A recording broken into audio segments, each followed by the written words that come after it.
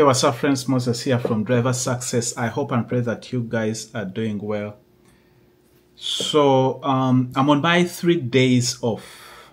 This is the first time I'm getting the three days off, and it's kind of exciting.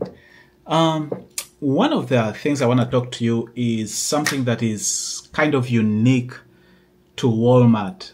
Um, we know that when you are getting hired on by most I was going to say by any trucking company, but that may not be necessarily true. But I would say most of the trucking companies, you go through, uh, they test you like uh, on your driving, right? To make sure that they are hiring somebody that um, knows how to drive.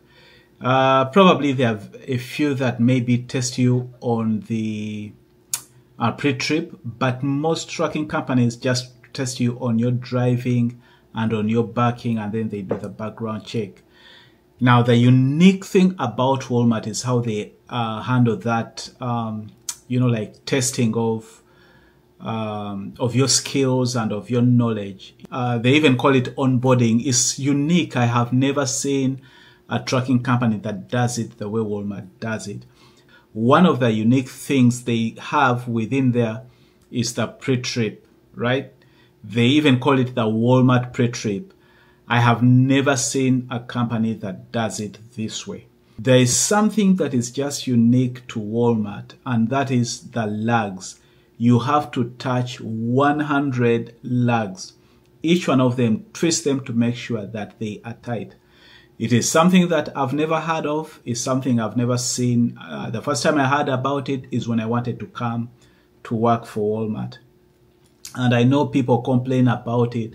But one of the ways to think about it is that there is a reason why they want it done that way. There is a reason why they are bringing people um, to pay close attention to that.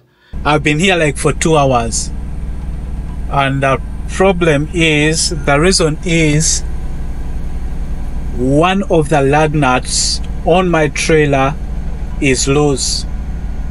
Uh, so you can see why Walmart is really strict on certain things. It's because this stuff happens. So I'm here waiting for someone to come and tighten it up.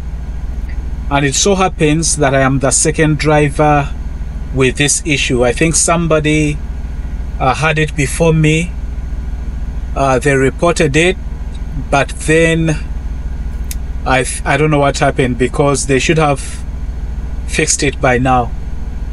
Anyway, so yeah, sometimes there is a story behind uh, the things or the decisions that companies make. So uh, when you hear that Walmart does, they want you to touch those 100 nuts in uh, your hiring process, in the onboarding, it's because there is probably a story behind that. I don't know exactly where it started from.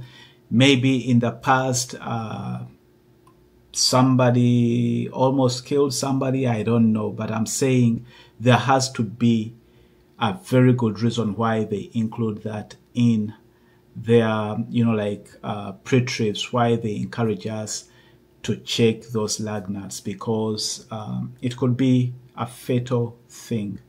And uh, not only you, but the people that use the road need to be safe.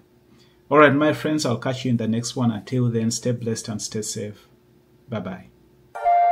Yeah, driver success. Yeah, this is driver success. Sharing my life, my life, it's as real as it gets. Keep my faith in my creator, he is my navigator. So tell me if you ready, cause you know I'm rolling steady. Husband, father, Christian, and truck driver. Telling you my story and the world through my eyes. So keep the faith, keep the faith. Let's keep it fresh. And this is driver success. Yeah, uh, let's go.